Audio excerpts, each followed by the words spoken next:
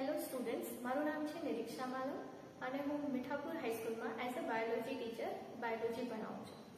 તો આજે આપણે જોશું ચેપ્ટર નંબર વનનો આપણે આગલા વિડીયોની અંદર ચેપ્ટર નંબર વનના ત્રણ એમસીક્યુ ટાઈપના જે ક્વેશ્ચન હતા એ જોયા હતા અને એક બે માર્કનો તો અહીંયા આપણે સ્ટાર્ટ કરીએ છીએ. નેક્સ્ટ જે છે, બે માર્કનો ક્વેશ્ચન કે જુદા જુદા પ્રાણીઓમાં અલિંગી પ્રજનન જણાવો. જુદા જુદા પ્રાણીઓમાં અલિંગી પ્રજનન જણાવો. તો એની અંદર સૌથી પહેલા તો આપણે પદ્ધતિ કહીએ છીએ દ્વિભાજન પદ્ધતિ. દ્વિભાજન એટલે કે એક કોષમાંથી બે કોષ બનવા, એક શરીરમાંથી બે શરીર બનવા. તો આવું જે દ્વિભાજન છે, એ ફક્ત ને ફક્ત એક કોષી સજીવો જ કરી શકે. તો દ્વિભાજનમાં જે એક્ઝામ્પલ છે, એ પણ અમીબા, યુગલીના અને પેરામિશિયમ જેવા એક કોષી સજીવો છે. તો આ ત્રણેયની અંદર ત્રણ એક્ઝામ્પલ આપણે એટલા માટે લીધા છે કેમ કે દ્વિભાજનની પદ્ધતિ થોડીક અલગ છે. અમીબા તમે પહેલાથી જ ભણતા આવો છો. અમીબાની અંદર દ્વિભાજન જે થશે એ અનિયમિત વિભાજન છે. અનિયમિત એટલે કે કોઈ પણ દિશામાંથી થઈ શકે. અમીબાની અંદર આ દિશામાંથી પણ થઈ શકે, આ દિશામાંથી પણ થઈ શકે અને આ દિશામાંથી પણ થઈ શકે. બરાબર? તો કોઈ પણ દિશામાંથી એ થઈ શકે છે.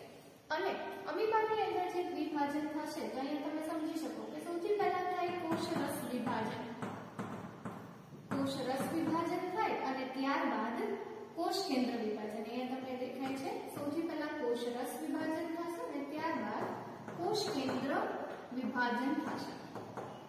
તો અમીબાની અંદર ખાસ ધ્યાન રાખવું કે અનિયમિત છે અથવા તો કોઈ પણ દિશામાંથી એનું વિભાજન થઈ શકે. ચોક્કસ દિશા નથી. બીજું એક્ઝામ્પલ આપણે લઈએ. આ છે પહેલું એક્ઝામ્પલ બીજું એક્ઝામ્પલ છે યુગલીના. યુગલીના યાદ કરો. એક કોષી સજીવ.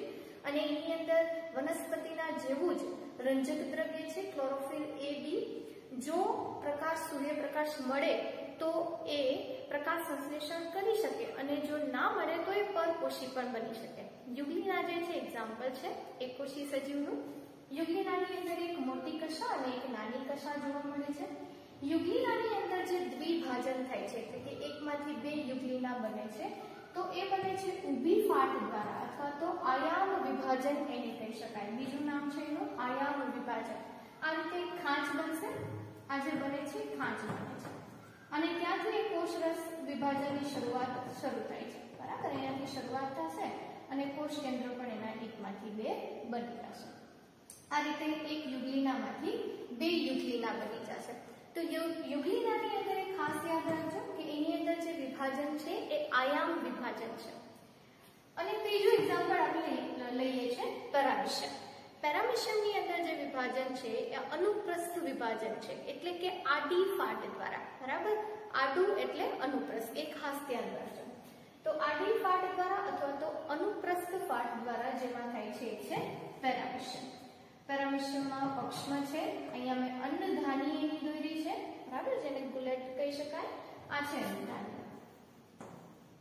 અન્નધાની અને આ છે એના કોષ કેન્દ્ર. એક મોટું કોષ છે અને એક નાનું કોષ છે. તો અહીંયા તમે જોઈ શકો કે આ જે છે આડી એક ફાટ બની છે અને એના દ્વારા એક પેરામિશિયમમાંથી બે પેરામિશિયમ બન્યા છે. તો ત્રણેયની અંદર ખાસ ધ્યાન રાખજો. ત્રણેયમાં વિભાજન જ થાય છે. અમીબા અનિયમિત છે.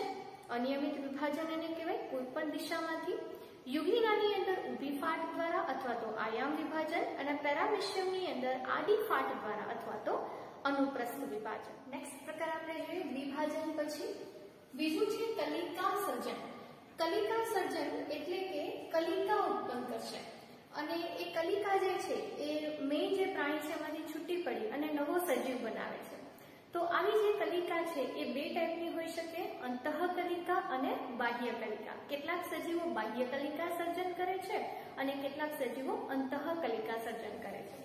તો બાહ્ય કલિકા સર્જન એટલે કે બહારની બાજુ, દાખલા તરીકે આપણે એક્ઝામ્પલ લઈએ તો હાઇડ્રા બરાબર? હાઇડ્રા જે છે બહારની બાજુ આવી કલિકા બનાવશે અને એ કલિકા જે છે છૂટી પડી અને પુખ્ત પ્રાણીમાં ફેરવાય છે અને એ પછી મોટું થઈ અને એ પણ કલિકા સર્જન કરી શકે.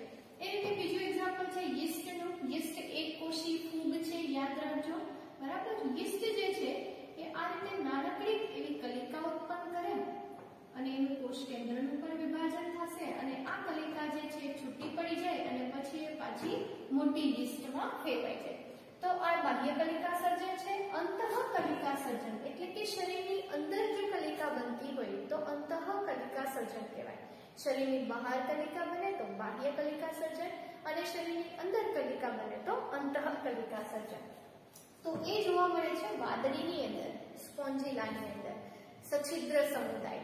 બરાબર? મેં તમને અહીંયા બતાવ્યું છે, આ જે અંતઃકલિકા સર્જનમાં અંતઃકલિકા જે બને, એ આ રીતે બને, મોટી થાય અને પછી એમાંથી નવી વાદળી નવી સ્પોન્જિલા બને છે. તો આ જે એક અંતઃકલિકા છે, એને મેં અહીંયા ઝૂમ કરી છે. આ આખી જે છે અંતઃકલિકા છે. અને આને ઇંગ્લિશમાં કહેવાય છે જેમ્યુલ્સ આ બહુ પૂછાય છે MCQ અંદર. બરાબર? જેમ્યુલ્સ શેમાં જોવા મળે? એ જોવા મળે છે વાદળીની અંદર. MCQ માં મોસ્ટ લાઇકલી છે ઘણી બધી વાર પૂછાયું છે કે જેમ્યુલ્સ શું છે જેમ્યુલ્સ અંતઃકલિકા છે તમને આકૃતિ આપી દે અને પછી પણ પૂછે કે આ શેની આકૃતિ છે? એમાં જે અહીંયા જે ઉપર જોવા મળશે એ છે સૂક્ષ્મ છિદ્ર. આજુબાજુ જે આ ચોકડી જેવી જે રચના મેં બતાવી છે એ છે દ્રઢા. બરાબર? કેમ કે એનું જે કંકાલ છે, એનું કંકાલ તંત્ર જે છે સૂક્ષ્મ દ્રઢા, દ્રઢાઓનું બનેલું હશે. એક સારો હશે, બીજું કાંઈ નહીં. અંદર જે છે એ છે અંતઃકોષ સમૂહ, કે જેમાંથી એ નવી વાદળીનું સર્જન થશે. અંદર જે કોષો આવેલા હોય એટલે અંતઃકોષ સમૂહ એના પછીની આપણે પદ્ધતિ જોઈએ અલિંગી પ્રજનન પદ્ધતિ અવખંડન અવખંડનની અંદર તમે જો શબ્દ જે છે એ ખાસ ધ્યાન રાખો અવખંડન એટલે ખંડન થવું એટલે કે ટુકડા થવા. કોના ટુકડા થવા? શરીરના ટુકડા થવા. બરાબર? તો આ જે અવખંડન પદ્ધતિ છે એમાં શું થશે? કે કેટલાક સજીવોમાં એનું જે શરીર છે એ નાના નાના ટુકડામાં વિભાજિત થઈ જાય. અને એ દરેક ટુકડામાંથી પાછું નવું શરીર બનાવી દાખલા તરીકે એક શરીરના બે ટુકડા થયા છે તો બે સજીવ બની જશે. અહીંયા આપણે એક્ઝામ્પલ લઈએ તો પ્લેનેરિયા સમુદ્ર ફૂલ, તારા માછલી અને એક્ઝામ્પલ છે. બરાબર? અને એમાં સૌથી સારામાં સારું જે એક્ઝામ્પલ હોય તો એ છે પ્લેનેરિયા એની અંદર પુનઃ સર્જન ક્ષમતા જે છે બહુ વધારે છે. પ્લેનેરિયા જે છે એના શરીરના અહીંયા મેં ત્રણ ટુકડા કર્યા છે. આ દરેક ટુકડામાંથી નવું પ્લેનેરિયા વિકસિત થશે. દાખલા તરીકે જો બે ટુકડા થયા હોય તો બે પ્લેનેરિયા બનશે. એકદમ ઊંચી પુનઃ સર્જન ક્ષમતા જોવા મળે તો એ છે પ્લેનેરિયા સજીવ તો અહીંયા આપણે દ્વિભાજનની પદ્ધતિ લઈ લીધી છે.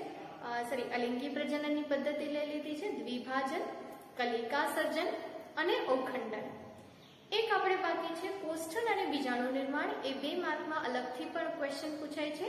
નેક્સ્ટ વિડીયોની અંદર આપણે નેક્સ્ટ ટોપિક એ લઈશું